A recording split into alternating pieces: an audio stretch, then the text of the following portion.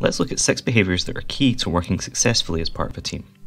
They are communicate, offer support, be accountable, be organised, be open to feedback, and understand your role. Communicate clearly with your team.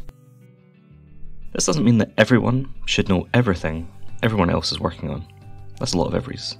However, the more team members understand at least what's being worked on generally, the more transparency you have, and so less misunderstandings about individual workloads. It also makes it easier for team members to direct queries to the right person. Offering support proactively is a sign of a good team player. Is one person struggling for some reason? Go and check on them.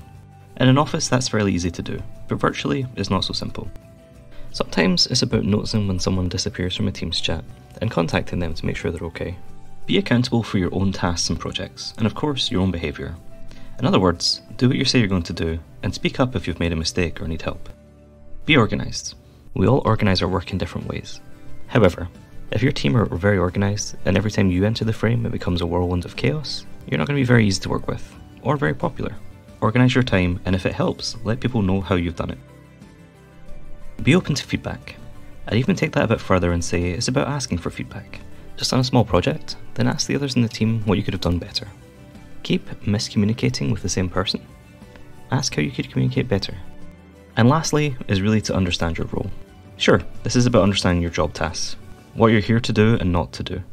However, that's not all of it. What is your role in the team?